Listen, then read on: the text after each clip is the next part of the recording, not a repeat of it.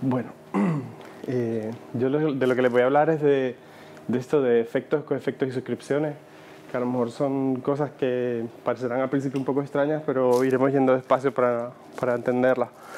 Eh, yo soy Manuel Rivero, bla, bla, pero vamos a dejar esta parte porque vamos a ir por faena. Eh, y luego pueden ver lo que serían las transparencias. Entonces eh, empezamos, el, el contexto de, de, lo que voy a contar es dentro de... Eh, nosotros lo que queríamos hacer era reescribir una, una SPA que estaba hecha para browser, estaba hecha en JavaScript y la íbamos a reescribir en ClojurScript, pero al mismo tiempo queríamos que funcionara también para, para móviles y que funcionara offline. Entonces la otra cosa que queríamos era que ambas versiones compartieran el mayor código posible. Eh, y ese es un poco el contexto en el, en el, que esto se va a mover. El stack que elegimos fue ClioScript, esto no era, no teníamos motivo tampoco, era simplemente porque nos gusta y queríamos hacerlo en ClioScript. Pero a partir de ahí pues eh, usamos Reframe, que es un, un framework del que, del que ahora veremos más, Reagent, que es como una interfaz así muy, muy pequeña alrededor de React y trabajamos con Expo para tener eh, para poder tener aplicaciones tanto en iOS y Android, pero usando el mismo código. Eh, y ahora vamos a hablar de, las cosas que aprendimos. Esta probablemente es la más importante, efectos y coefectos. Para nosotros fue, nos abrió muchísimo la mente el, conocer esto. Uh, tenemos que empezar por ver un poco cómo es la arquitectura de Reframe. Esto es un dibujito así como muy simplificado, eh, en el que lo que tiene es un, flujo, una arquitectura con un flujo unidireccional, en el que cuando el usuario eh, genera algún evento, esa vista lo transforma en un evento de dominio, hay unos, gest unos gestores de eventos que cambiarán cosas en el modelo y eso provocará eh, que la, la, vista se vuelva a renderizar y, y le presentes una, una, nueva pantalla al usuario. Si le quitas este trocito de aquí de suscripciones, es como muy parecido a, a Redux. Eh, pero realmente veremos que es mucho más. Eh, ellos eh, en su ayuda usan esta imagen para el tema de arquitectura de flujo de datos unidireccionales, el ciclo del agua, y en una aplicación de Reframe tú lo que tienes es que lo que está circulando todo el rato son datos. Eh, se podría imaginar una aplicación de Reframe como un reduce. Lo que tendrías es que en cualquier momento del tiempo el estado de la aplicación, tú puedes coger el estado inicial que tenía y coger todos los eventos y hacer un reduce y llegarías a, a ese estado final. ¿no? Y las funciones, de, las funciones que combinan serían el, el conjunto entero de, de handlers de eventos, esos serían los reduces. ¿no? Esto está muy bien si los gestores de eventos son funciones puras. ¿Por qué? Bueno, una, porque tienes razonamiento local, todo lo que necesitas para entender está en esa función, todo le llega por los parámetros uh, y no va a hacer nada en ningún otro sitio, sino va a sacar un output. Por eso mismo son muy fáciles de testear.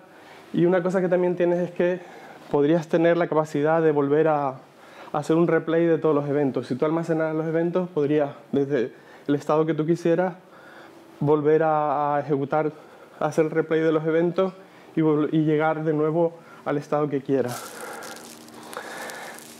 Pues está muy bien, pero los side effects son inevitables, ¿no? Entonces vamos a ver qué pasa cuando eh, tenemos side effects. Nosotros por, por vocabulario, para luego poder relacionarlo con efectos y coefectos, vamos a distinguir dos tipos. Un tipo van a ser lo que llamamos side causes, que serían eh, datos que una función, una función necesita, pero que no los recibe en la lista de argumentos. Por ejemplo, en este caso sería esta fecha, este tiempo que está cogiendo en este momento. Eso sería un side cost. Eh, y el otro lo llamamos side effect, que es algo que la función le hace al mundo. Por ejemplo, en este caso está esperando un tiempo y está eh, lanzando un evento. ¿Cuál es el problema que, que presentan? Pues hemos perdido la, el razonamiento local, de, ahora la función está haciendo cosas a distancia, está cogiendo datos de otros sitios, está haciendo efectos en el mundo, con lo que también se hace más difícil de testear y no tenemos la, la, posibilidad, perdemos la posibilidad de hacer ese replay de una manera, sí, la perdemos. Entonces, ¿cómo normalmente lo, lo arreglamos? Eh, lo que normalmente vas a necesitar es introducir toda una serie de complejidad accidental solo para recuperar aquello. Eh, ¿Qué haces? Bueno, separas con ser, separas el, lo que sería el, el hacer el efecto en, en, una función que luego la pasará, te, te ves obligado a, hacer, eh, a usar eh, test doubles, etc. Pero aunque vuelvas a ganar el, el aislamiento de, de, tu lógica de negocio con respecto a lo que hace esos efectos, uh, lo que es el, poder hacer un replay de los eventos sigue perdido. Entonces, ¿qué pinta tiene esto normalmente? Toda esta complejidad accidental. Bueno, oh, eso sería eh, lo típico que harías una inversión de dependencia. Esto es una manera de hacerlo, hay otras maneras. Pero aquí lo que estamos haciendo son. Es como una. Estamos haciendo inyección de dependencias de hombre pobre usando aplicaciones parciales, ¿vale? Entonces, al final, eh, estamos pasando la función que hace el efecto como un colaborador. Aquí estamos haciendo la aplicación parcial. Uh, y bueno, ahí está separado el código que hace el efecto. Eh, esto te llevaría a poder testear usando, en este caso, un espía. Eh, que inyectas el, el, el, el, doble de prueba y luego lo que compruebas es la interacción, que, que estás haciendo la interacción que quieres con los parámetros que sea. Si lo que tienes es una sidecoast es el, el, mismo tipo de historia, eh, pero eh, lo que usarías es un stub en vez de un espía, ¿vale? Porque en un momento dado eso te va a volver una respuesta enlatada. Ok, entonces, ¿qué pasa? Al final, nosotros normalmente pensamos que esta es la manera de hacer las cosas uh, y lo hacemos también sin pensar mucho, pero eh, estamos metiendo un montón de complejidad accidental, ¿no? Entonces, la historia es como es la forma de hacer las cosas, normalmente no nos planteamos si habría una manera diferente o más sencilla de hacerlo. ¿vale? Entonces vamos a, ahora a ver otra forma de hacerlo. Y es donde entran los efectos y coefectos. Vamos a definirlo primero, eh, qué sería cada uno de ellos. Los efectos son descripciones de los side effects que hace tu programa. ¿vale? Describen lo que tu programa le hace al mundo. Mientras que los coefectos lo que hacen es... Eh, traquean eh, la psicosis de, de, tu programa. ¿vale? Lo que van a seguir es qué, valores necesita tu programa coger del mundo. ¿okay? Uh, una vez tienes eso, eh, esto tiene un nombre, es un, el patrón se llama eh, efectos declarativos, también está por ahí como effects as data, efectos como datos. Lo que haces es que lo que consigues es que los handlers de eventos vuelvan a ser funciones puras que reciben coefectos y devuelven efectos. ¿ok? Y luego, eh, todo lo que sea eh, quién hace esos efectos realmente o cómo los valores que describen esos coefectos llegan a la función, eso no es, no es parte de tu lógica de negocio, ¿vale? Eso lo va a hacer, pues, en algunos casos como por ejemplo puede ser el, el runtime del lenguaje si estuvieras trabajando en Elm, o puede ser un framework, como en el caso de Reframe. Ahora lo veremos. Hasta aquí más o menos, porque sí, vale. Eh, yo les recomiendo mucho la charla esta porque él tiene más tiempo y se dedica solo a explicar esta parte, entonces está bastante chula, te explica cómo hacer esto, este patrón en JavaScript y luego al final de la charla llega un momento que dice deja JavaScript y usa Elm y es todavía más fácil, ¿vale? pero está bastante bien para entender el, el patrón. Entonces, ¿qué, ¿qué, conseguimos? Bueno, los handlers de eventos son funciones puras de nuevo. Esto es una función pura que está recibiendo un mapa eh, de coefectos. Aquí estoy desestructurándolo. Uh, y está devolviendo un mapa. Eh, está devolviendo un mapa de, de, de efectos en el que lo que describe es lo que va a pasar. Él está describiendo que la base de datos, el, valor que debe haber en la base de datos es este y que debes hacer este dispatch dentro de 100 milisegundos y de este evento. ¿okay? Entonces, lo que serían los test se vuelven muy sencillos porque los test son eh, de funciones puras. Lo único que haces es poner la estructura de datos que esperas, llamas a la función y si esto es igual a esto, está bien, ¿vale? Desaparecen totalmente los tesables de nuestra lógica de negocio. lo mismo con... Em, lo mismo pasaría con, con lo que serían las psicosis.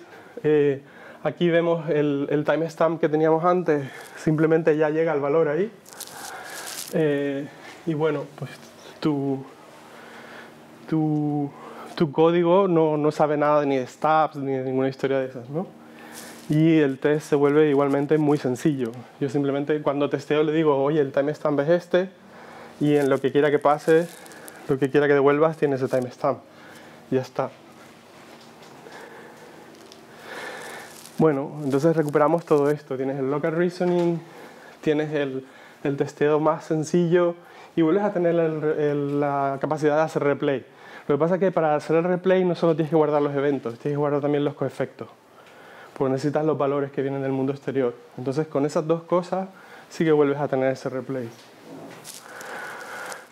Ah, esto al final lo que te queda es que toda tu lógica de negocio acaba siendo un core funcional eh, que se alimenta de coefectos, de eventos y que se, que se comunica hacia el exterior eh, devolviendo efectos.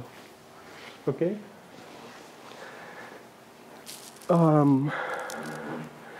Vale, pero lo que queda ahora es la otra parte del puzzle, es cómo hacemos realidad esos efectos o cómo llegan ahí los valores de, los, que describen los coefectos.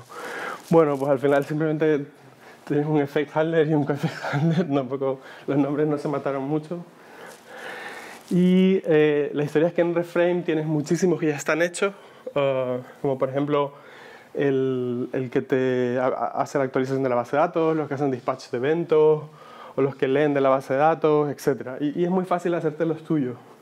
Por ejemplo, el timestamp que vimos antes es un, es coeffect que eh, es casero y, es muy fácil de hacer. Sería esta función, dices la función que va a, a, sacarte el valor y a qué nombre lo asocias y la registras en el framework. Y bueno, lo único que haces es, le tienes que decir cuando registras el evento, el, el handler del evento, le dices que eh, en el momento de ser llamado inyecte este coefecto. ¿Vale? Así es como llegan los valores ahí, en concreto. Pero esto es implementación, no, no tiene que ver con, con la idea en sí. Al final acabas teniendo, aparte de ese core funcional, una capa muy fina alrededor de él, que es un, un, un, una capa imperativa. Que esto tiene que ver con, con la idea esa de, ¿cómo se llama? Gary Bernhardt o algo así, de Imperative Shell Functional Core, que sacó hace unos años. Entonces, eh, lo que vimos antes era la arquitectura de reframe muy simplificada y realmente vemos que esta parte de aquí es bastante más, es bastante más rica en el sentido de que eh, acabas teniendo eh, todos estos efectos, eh, coefectos, etcétera, que están metiendo valores los coefectos de manera síncrona.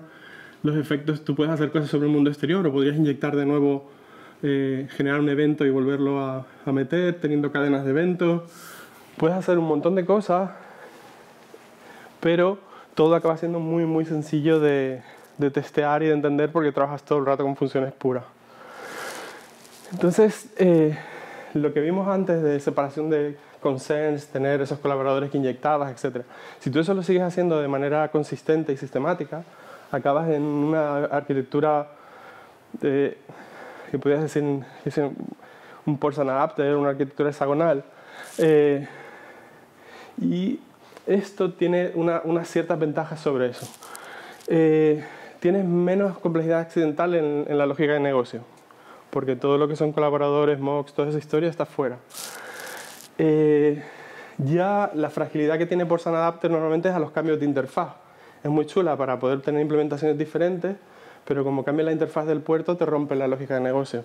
Aquí lo que se te rompería no es la lógica de negocio, sino la capa de, fuera, la capa imperativa.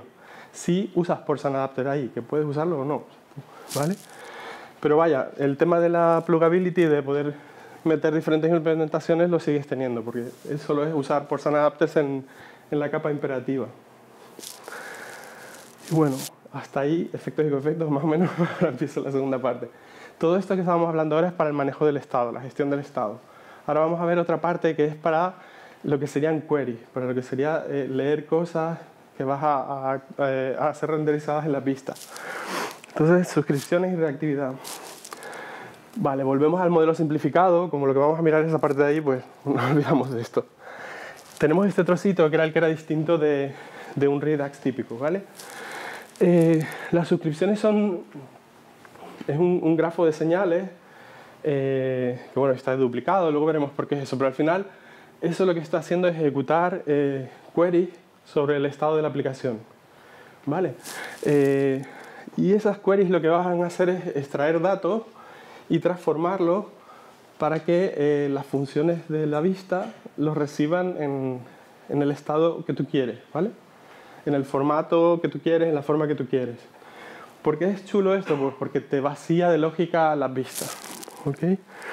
Esto es un ejemplo muy tonto, esto es el, el, el, el modelo, el AppDB de, en Reframe, lo estoy mirando en el REPL y imagínate que tiene esto. ¿okay? Um, esto es una vista típica de Reagent en la que estamos diciendo que nos suscribimos a esta suscripción. Greeting. Pero esta suscripción no es un dato directamente, podría serlo, pero en este caso no lo es, sino es algo que está reaccionando a los cambios, en, en este caso en un dato, ¿vale? De, ese nombre. Entonces, una forma sencilla de verlo, es la que usa todo el mundo, es verlo como Excel. ¿okay? Excel es como un ejemplo súper chulo de reactividad, en el sentido de que cuando tú cambias, cuando tienes unas casillas que dependen de otras, cuando yo cambio esta casilla, todas las otras van a cambiar. ¿okay? O sea, un ejemplo, pues aquí sería la misma historia. Eh, aparte de, de, limpiar lo que serían las vistas, eh, otra cosa que está muy chula es que mejora la performance. Eh, una, porque reducen los renderings, ahora, ahora explicaré cómo, y otra es porque deduplican los cálculos.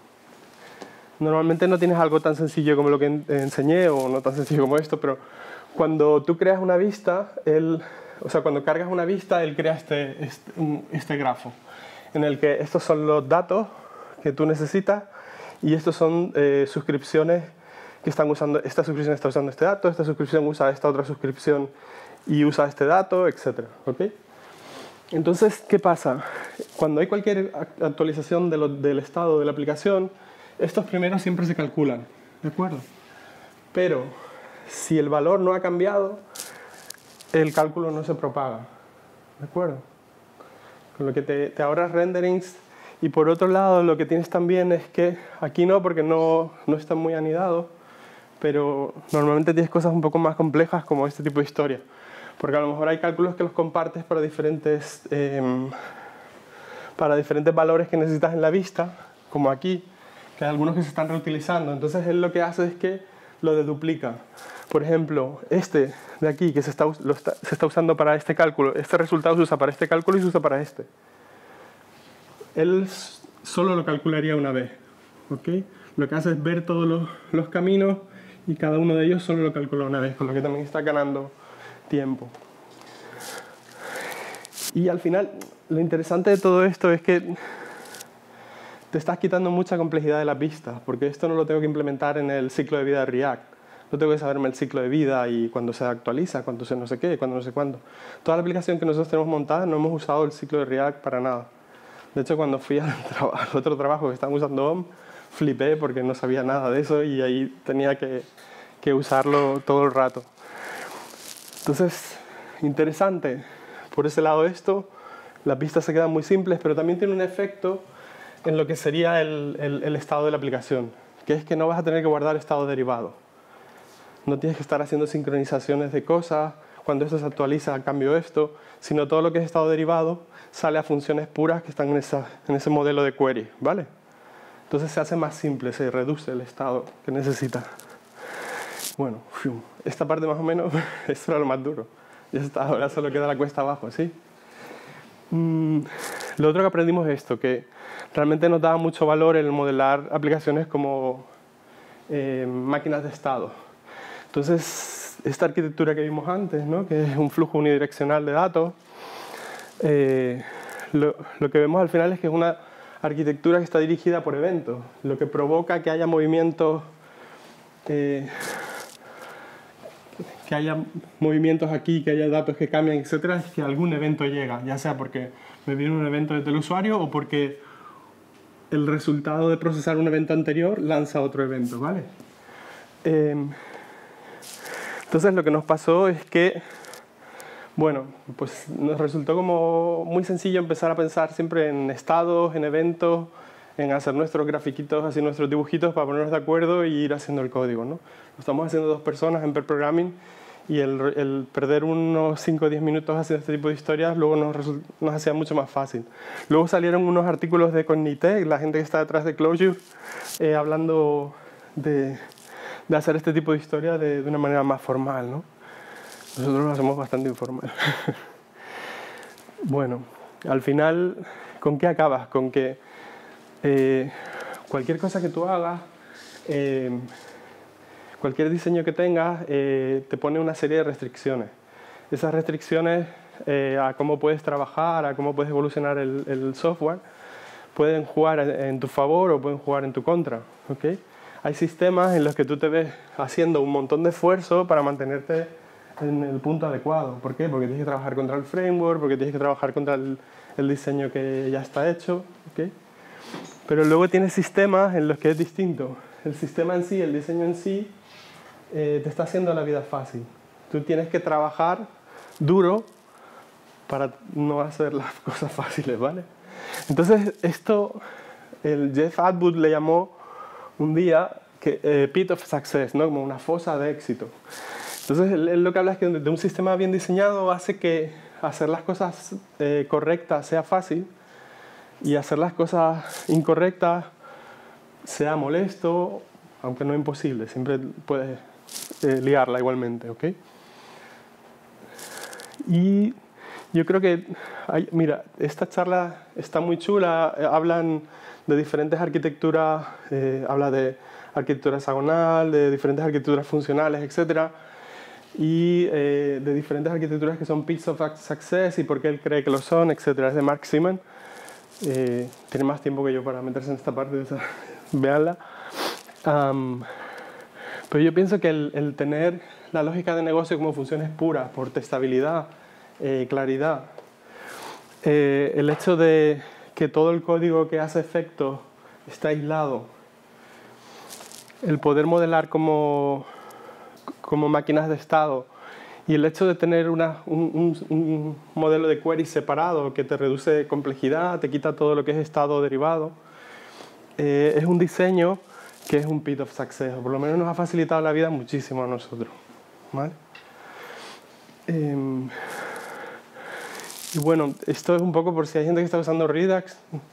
Eh, puedes tener este tipo de experiencia, no tan fácil, es un poco más rollo, pero usando Redux Saga o Redux Loop para lo que es la parte de gestión de estado y las suscripciones las puedes tener con esta librería, con Reselect, ¿ok? Para la gente que está haciendo React, por si quiere hacerse la vida más fácil. A nosotros el, trabajar así lo que nos dio sobre todo es eso, la reutilización fue brutal porque al final las vistas son, no tienen nada de lógica, aparte de cuando me llegue tal evento yo hago dispatch de otro evento o suscripciones. Esto es la vista en browser, esto es la misma vista para, para el móvil y al final es eso, no tienen lógica.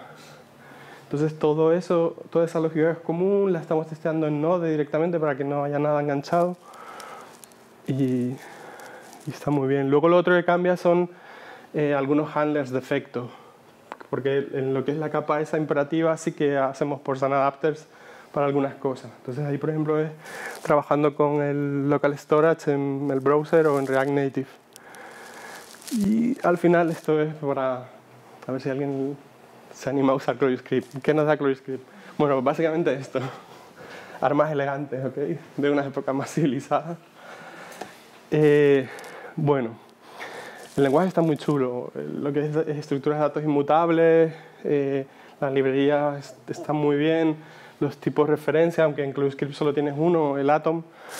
Eh, y luego tienes polimorfismo con diferentes maneras, con protocolos o con multimétodos, pero sin traerte toda la carga de todo el rollo de herencia, etcétera, eso no, no, no lo necesita. Y lo otro que está muy bien es el desarrollo interactivo. Eh, es, realmente chulo el, ir tocando el código y que a la vez vayas viendo cómo la aplicación va cambiando, se va actualizando. Tanto, o sea, cómo interactúas desde el REPL uh, con la aplicación, ¿no? Y cambia también tu forma de trabajar, porque el tener el REPL te hace que tengas la posibilidad de poder tener ciclos de feedback todavía más rápidos que usando TDD. Entonces acabas usando una mezcla. Aunque como es reframe se presta muchísimo a que es súper fácil hacer TDD de, de, toda la lógica de negocio. Um, y bueno, te quitas saber de un montón de cosas de JavaScript. Y al final esto es simplemente decir que, que no es magia tampoco, ¿okay? que hay cosas que siguen siendo difíciles. El, el, te pone en un buen lugar de inicio, o sea, tienes esas fuerzas que te están llevando hacia que las cosas que tienes que hacer sean fáciles, pero igualmente sigues teniendo que tener buenos nombres, modelar el dominio, separar las cosas bien en espacios de nombres, etc. ¿no? Esa parte no te la quita. Uh, puedes tener problemas con esto, sobre todo en los test, que es el acoplamiento a la forma eh, de los datos. Entonces, eh, debes intentar que el código no sepa demasiado de, de, de, de, cuál es la forma de tus datos. Entonces, bueno, con builders y cositas de estas puedes proteger. Eh, también otra cosa que puedes tener que es curiosa y, que le pasa un poco a, es un problema común para todo lo que son sistemas basados en eventos, el tema de cuando tienes cascadas de eventos largas, ¿ok? Porque la lógica está en un montón de sitios y va saltando con eventos de aquí, pasa esto, luego salta allí, pasa esto otro, salto, ¿vale? Al final es algo que puedes paliar un poco con, con tooling. Este tema de, de que es una librería que está muy chula, en la que vas viendo, según va pasando, vas viendo todos los datos que van eh, fluyendo por el reframe, los, eventos que van saltando, te, te, ayuda mucho. Y luego haciendo el empaquetado por, el tema de, de namespace es empaquetado por features para, no, sabes, no hacer lo típico de eventos, todos los eventos, el, subs, todas las subs, sino ir más por funcionalidades, ¿vale? Eh, y bueno, esto es otra historia que no nos metemos porque básicamente que Expo va variando tan rápido que siempre va rompiéndote, pero mejorará con el tiempo. Y como conclusión es un poco esto. Básicamente eh, que conseguimos el propósito que teníamos, que es que prácticamente todo el código fuera común para el browser y, el móvil. Eh, y que lo que son efectos, efectos y suscripciones te da, te pone en un lugar muy bueno. Porque te quita un montón de complejidad accidental y para nosotros fue, nos abrió la mente. ¿no? Nosotros empezamos a hacer nuestra aplicación, cuando empezamos a tener ese tipo de historias, pues nos hicimos, pues, que si los que si no sé qué, no te gusta la librería, pues te haces tú la tuya, no sé cuándo, bueno, todas estas historias, ¿no? Y de repente esto sale eh, cuando llevamos 15 días con el proyecto, ah, vamos a mirar la versión nueva. Y fue como, oh. Y borramos todas las librerías de Mox, borramos todos los test, los hicimos de nuevo y era como, pero esto es súper fácil, ¿cómo no se nos había ocurrido, no? Y bueno, CloudScript está la verdad que bastante chulo trabajar con él, es muy divertido. Y ya está, gracias.